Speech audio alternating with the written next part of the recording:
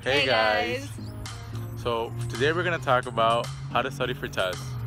So one tip I'm gonna give you guys is to do your note cards, do your vocab, and like to keep everything in one place. So if you lose your note cards, it'd be better if you have it in like a Google document because you keep everything in one place. And then at the end, when you need all those words, it's like they'll they'll just like help you so much having it in one document.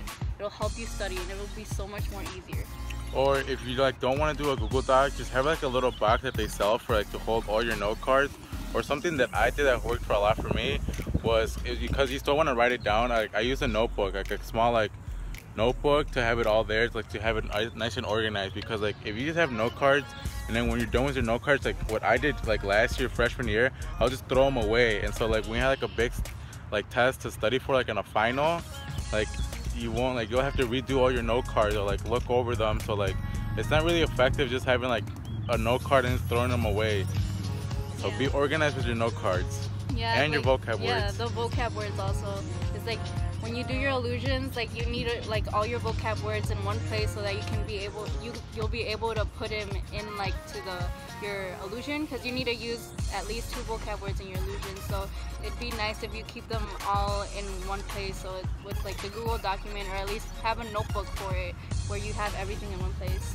So basically what we're trying to say is like be organized, like have a lot of like tabs or like organization, like folders for your like your Google Drive, like just stuff like that. Like it helps a lot in the long run. Yeah, you'll need all that by the end. Like for your AP test, like you'll need to be so organized to like be able to study for everything. Keep your notes all like in order. Like put dates on stuff because that that'll help you like stay organized and know what went first because you need to learn everything chronologically and like know what happened in order so keep everything like in order and also like another tip for like studying for AP test is like you buy an AP review book. It'll help you like if you buy it since like the beginning of the school year or once you guys start reading your the the AP book, having an AP review book will actually help a lot. what? okay, bye.